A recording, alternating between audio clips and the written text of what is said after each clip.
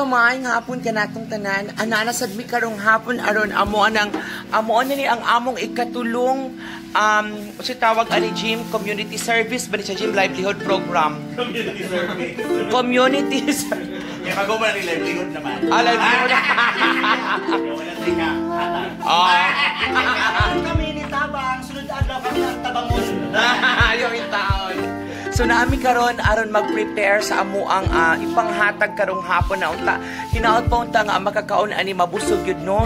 So dili ta mag mo ni ang amo ang sudanan among duha ka bukag nga kaning unsa ba siya kanang ice ice styrofoam kanang ice box duha ka buk among giandam kay kabalo ko daghan gyud kay ang gigutom ug mo ni sila ang nag-prepare mo ni ang amo ang organizer si Michael ah so, lang mo. Uh, unsa man ang imuhang main ingredients ana Michael? Kota na lang si Marlon, kasi siya may nangumpra. ah, di ay. Oh, ayo kay ayo kay kay pahalata diha kay maulawan ta sa imong giandam. So, Ginoo ko. Basig pag-deliver na to naman imo dam suwat.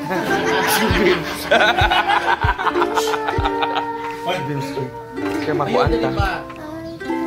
Alitawa diha. So mo ani siya ang pag-prepare sa amo ang arroz caldo na arang. Ang lugaw. Tapos, Nga gi... Muro juga ako nagluto, no? Kaya ako nanibaw.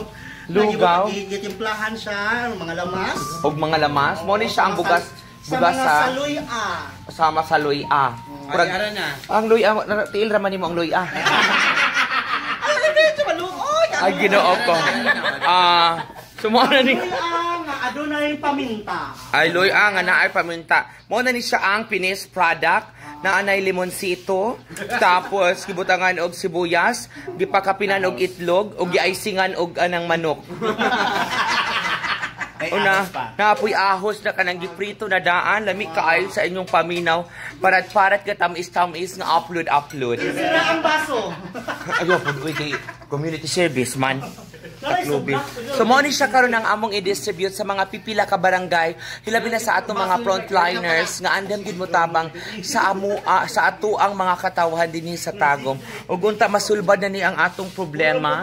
Inuba na na dinhi ang ato ang kuan ang ato ang event organizer si Jimmy Cabal Ay, may ngapon.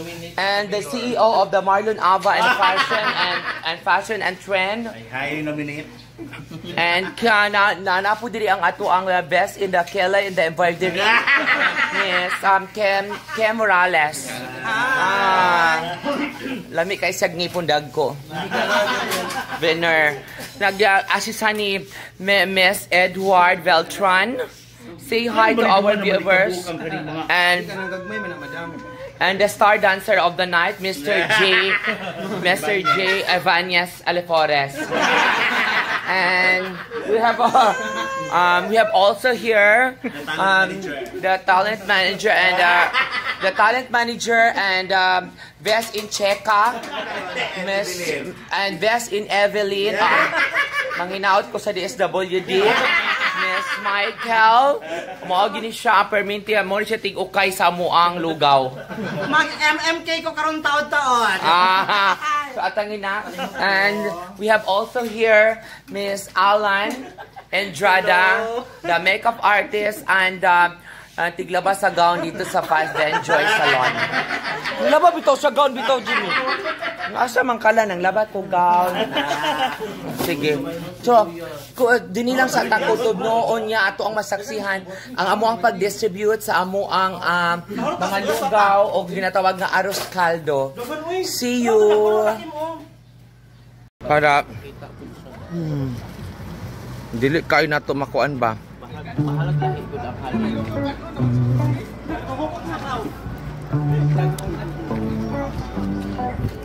Wala lagi ka nag-heels ron, per. Wala na. Ay, ito no.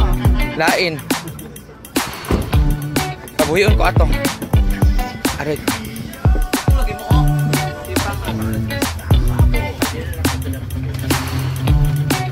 Oh, sugod na po sa tong field trip.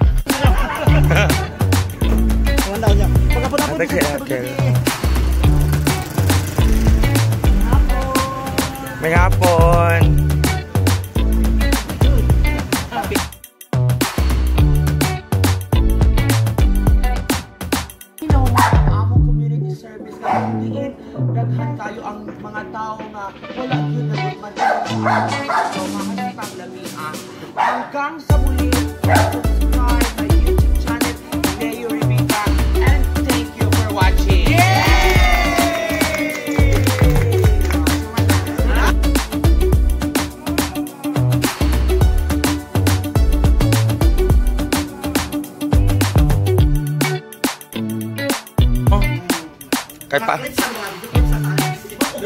Oo, ana. Kay daghan ba nag-request nga. Ah.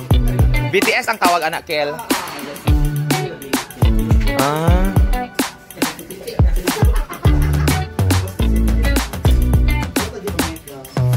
Tagpila maihatag ano taga kuan, taga tapok. Tag lima ra. Lima lang? Nya ang sal ang salin imo na pong dalon. That